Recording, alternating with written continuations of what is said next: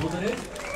И последно един а, журналист с граждански глас, който да каже няколко важни момента последно преди да стартираме нашето шествие. Асен Генов. Здравейте.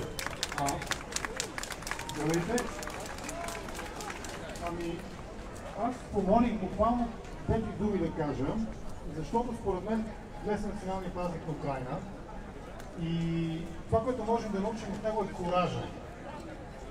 На 24 февруари всички, включително и тогавашния министър-председател на България, господин Петков, казваше за два-три дена и Украина свършва с нея. Край. Това обещаха всички телевизионни анализатори.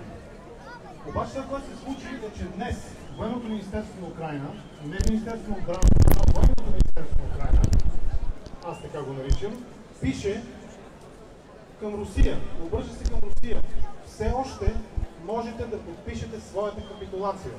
Ние ще приемем вашата капитулация. Още не е късно. Може да направите това преди да ви разруши на наша територия. Буквално цитирам Военното министерство на Украина. Часовникът тик-така, тик-ток, тик-ток, тик-ток. Това е посланието на Украина днес. От Украина можем да се получим, получим на кораж. И понеже става дума за кораж, миналия път аз изпомням това, което говорих пред вас е за коража, кавички, на нашите дипломати, на нашето външно министерство. Срамно е, че дори Северна Македония върна своите дипломати в Украина, в Киев, издигна северно-македонското знаме от балкона на тяхната дипломатическа мисия. Нашето посолство в Киев, нашата консулска служба в Одеса са заключени. Дори повече, пожарникаря, така наречения, който беше консул на България, той беше награден, връщайки се в България.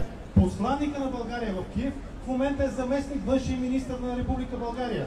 Толкова за коража на българската дипломация по отношение на войната. Коража е думичката, която трябва да научим от това, което Украина вече 6 месец започва от утре 7 месец от войната на Русия срещу Украина. И в този смисъл помолих да ми дадат думата, за да ви помоля, ако имате приятели българи, наши сънародници с българско гражданство в Украина, от името на Централната избирателна комисия чухме, че ако се съберат 40 подписа, 40 заявления за участие в изборите на български граждани в Украина, ЦИК ще вземе решение да открие изборна секция в Украина. Ако имате приятели в Киев, в Одеса, в Львив, където да било, кажете им да попълнат проклетото заявление от сайта на ЦИК. Да го попълнят и да поискат да бъде разкрита секция в Украина.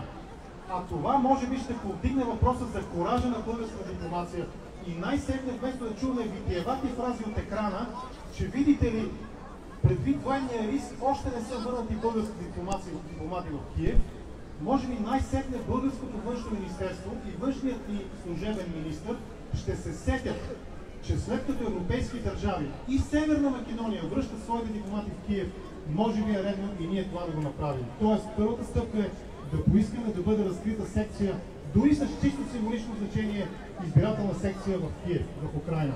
Благодаря ви много, слава на Украина и здравей България!